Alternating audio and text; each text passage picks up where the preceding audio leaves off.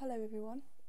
Today I'm going to do another quick instructional video on how to put together different images, say taken with um, HA filter or um, red, green, blue filters and turning them into a final colour image.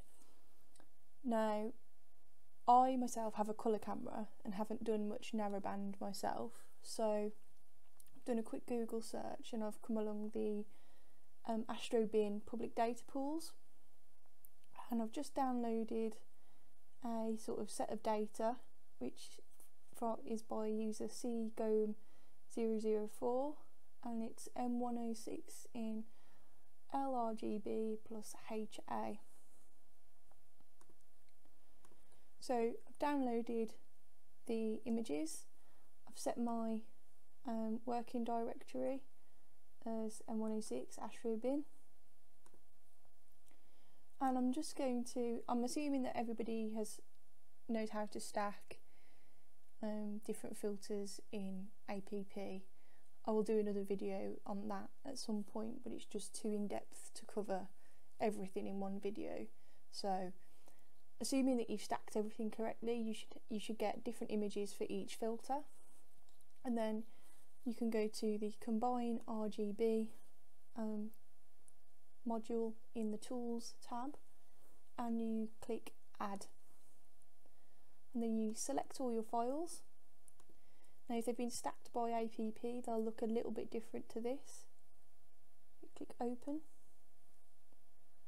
And if your setup rec uh, records metadata then it may know already which channels to assign them to.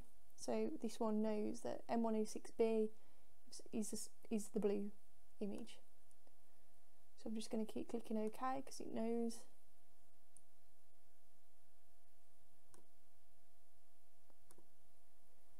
And you might be thinking, okay, why is there a black screen?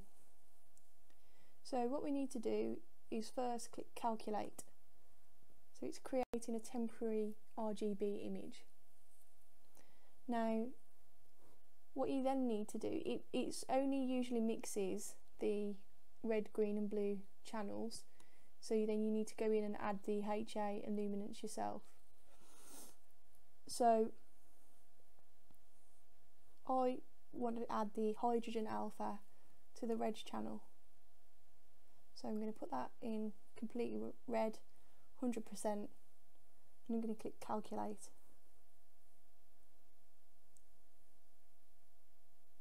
See we've just got a little bit more detail there. Click in, you can see those areas of uh, star creation in the galaxy.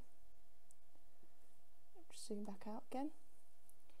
And the luminance, I want to pile in luminance 100%. I'm going to click calculate again.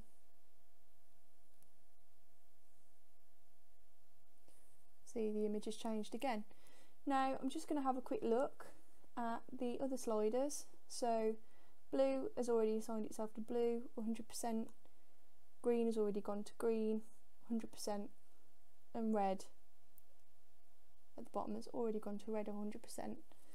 So PixInsight has something called Pixel Math where you can put the formula in where it no you can tell it how much of each image you want to assign to different channels. This is essentially the same except with sliders. So once that's done, you click create and you need to tell it to save. And then it'll save and you can click cancel. And if we just turn, expand my file list a bit, it'll be other processed RGB composite.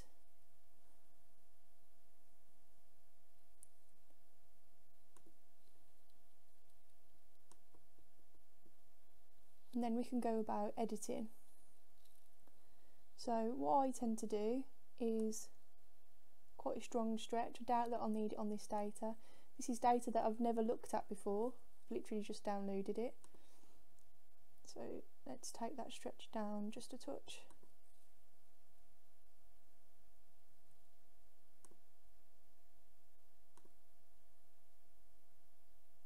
That's better. So I think 15% background, 3 sigma and 2.5 base is a good start. And then you can do all the different things that you want to do on it, such as neutralising the background,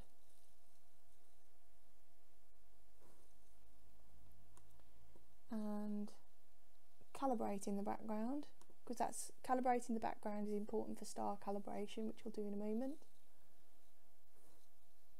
So once again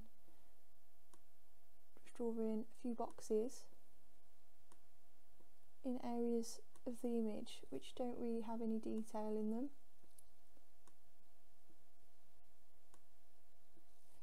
Click calculate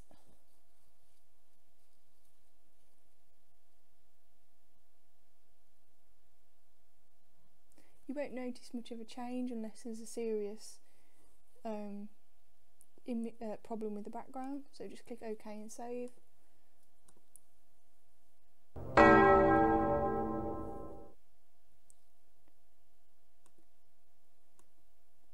And then I'm just going to click on RGB Composite 2 that's my new one. I'm going to click Calibrate Star Colours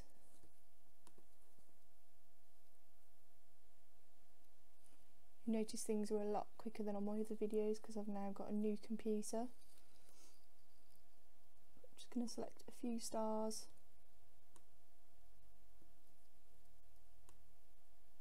with which to calibrate.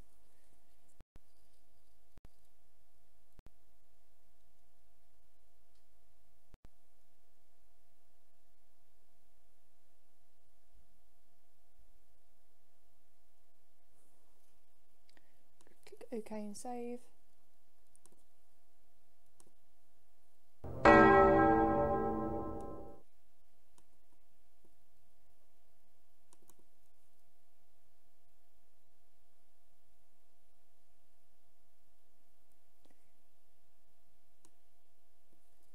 And now really you can just tweak the sliders to taste.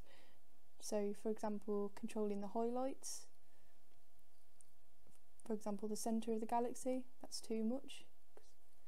Galaxy has many stars so it should have a glow. Saturation.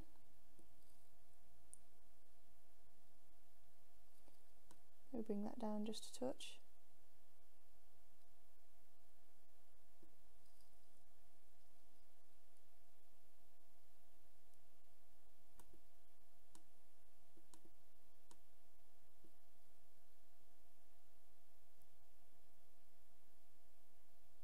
go saturation threshold. Now that's what what that is is if you bump this saturation up quite a bit you can inject colour noise into the background. This helps control it so I'll just leave it there. Contrast. Just increase it just a touch see the kind of effect. Not a lot. And the sharpness. So I'm just going to take that up. This I tend to try and be a bit conservative with this sharpness because it can affect the um, the stars. But in case you do want to bump it up a bit this protect slider can help stop sort of artifacts around those star edges. And if we zoom in have a look. I'd be quite happy with that image.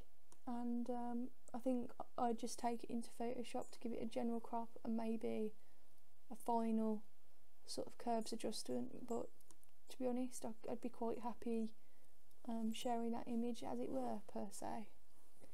So I hope that's been helpful because I know a couple of people have been a bit confused about how to once they've stacked all their different images with the different filters they're a bit confused with how to actually get the final RGB image at the end. So thanks for watching and look out for the next video.